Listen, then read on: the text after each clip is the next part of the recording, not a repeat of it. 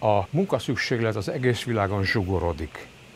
Megváltozik a népesedés karaktere, körülbelül mostanában ö, kerül nullszaldóra, és körülbelül 2050-re a emberiség létszáma tetőzik 9-10 milliárd főnél, és onnan csökken tovább. Tehát nem, nem, nem fog túlnépesedni a világ.